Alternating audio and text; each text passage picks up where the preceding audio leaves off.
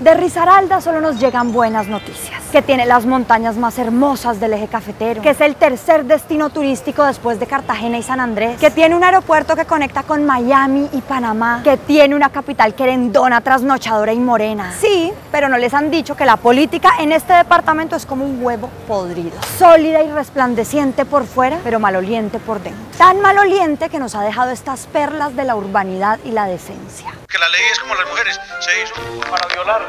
El concejal Darío Gómez aseguró que en ningún momento agredió ni intimidó al otro corporado y que su correa la tenía en la mano porque venía del baño. Bienvenidos a Risaralda, el paraíso cafetero gobernado por una clase política corrupta que sigue con sus tentáculos activos y que por algún milagro de la Virgen de la Pobreza, nada que cae.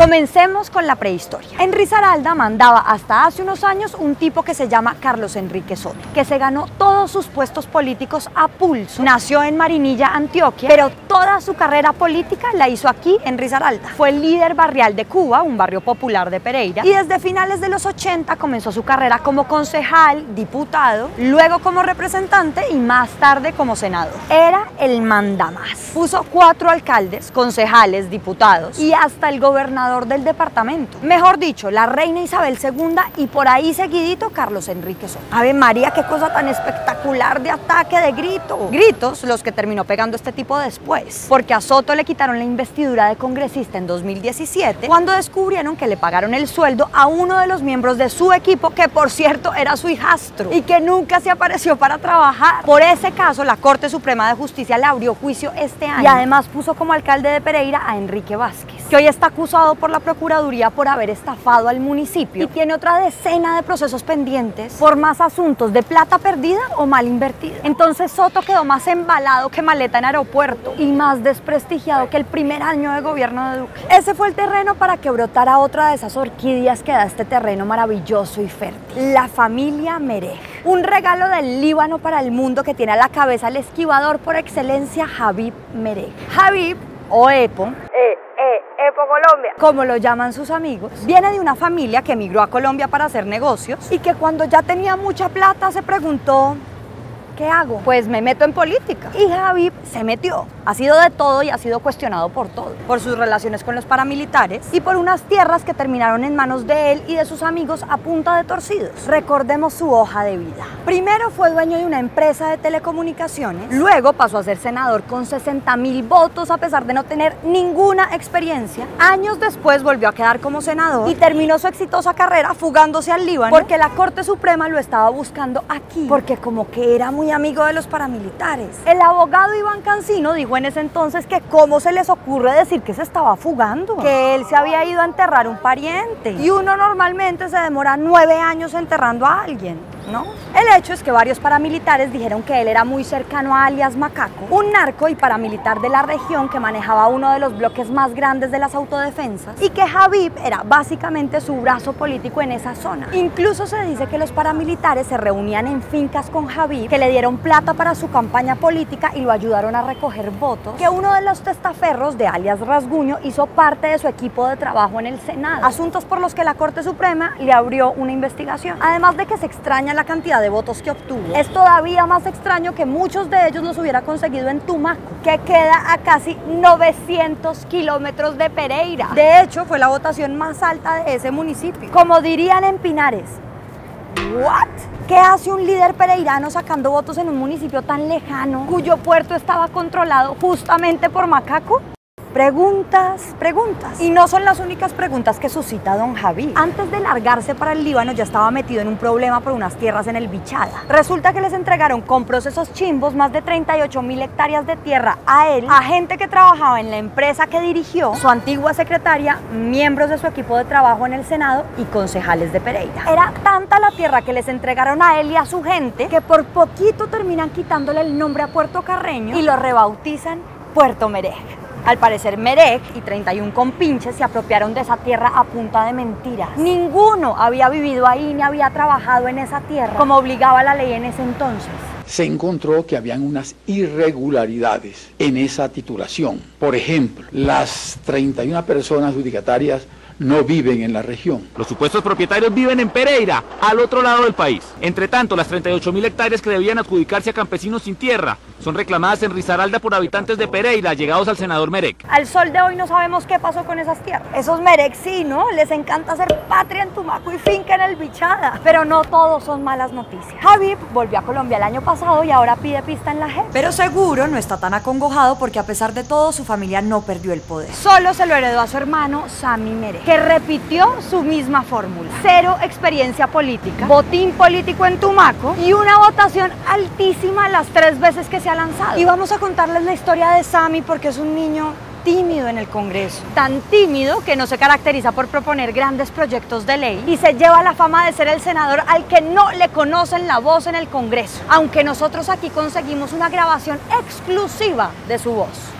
No había nada que pensar, no me creas tan huevón, los dos cabíamos en cucharita. Perdón, perdón, nos equivocamos de grabación. El caso. Sammy fue el encargado de expandir el poder de esa familia y lo expandió con unas fichitas de puro talento criollo. Puso alcalde en Santa Rosa de Cabal en 2008 y hoy el tipo está en la cárcel por andar haciendo maromas con contratos públicos. Puso alcalde en Santa Rosa de Cabal en 2015 y hoy el tipo está detenido en su casa por haberse tumbado una plata de un contrato que le dio. Adivinen quién, el alcalde que les hablamos antes. Y eso que no tuvimos en cuenta a otro alcalde, que no es ficha de Merec, y fue capturado por corrupción hace unos meses. Merec también puso alcalde en Dos Quebradas en 2015. Dos Quebradas.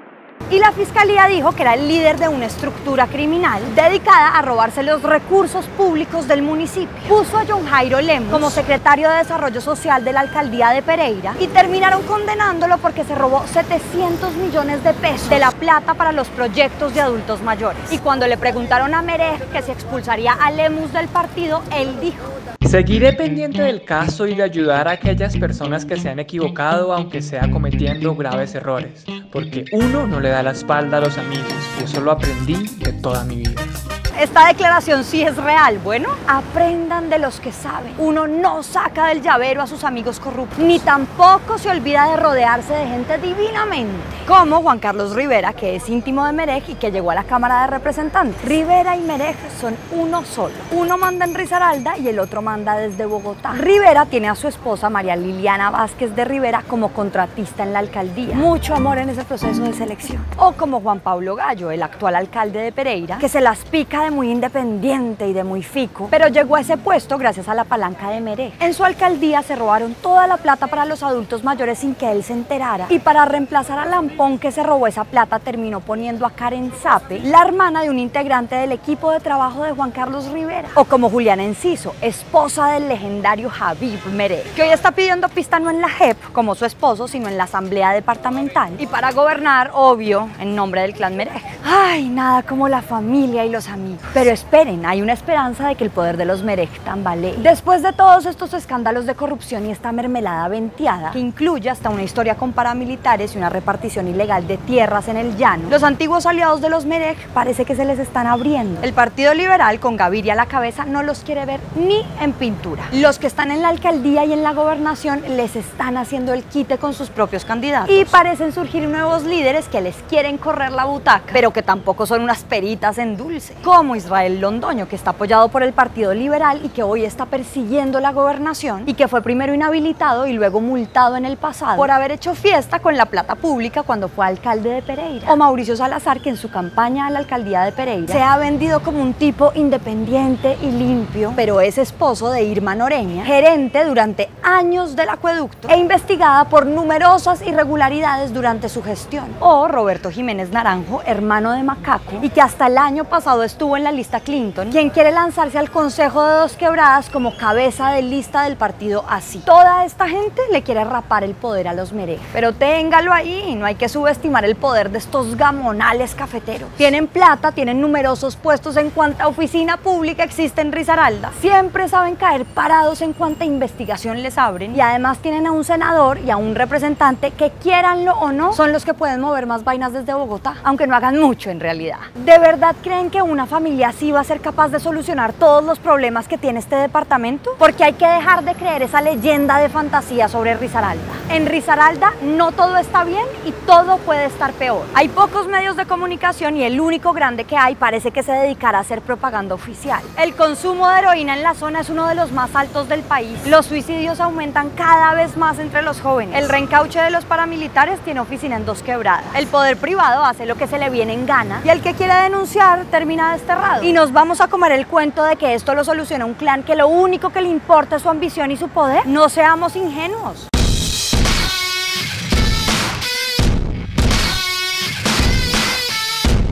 Y acuérdense que estamos haciendo un especial de pullas regionales y programas locales para conocer un poco cómo funciona la política en cada lugar y así evitar la corrupción. Hoy grabamos desde Pereira y después se vienen otros programas regionales, entonces ayúdennos a compartirlos, así no sea la región en la que ustedes viven, porque eso nos ayuda a crecer y a tener más views y a seguir haciendo nuestro trabajo. Chao.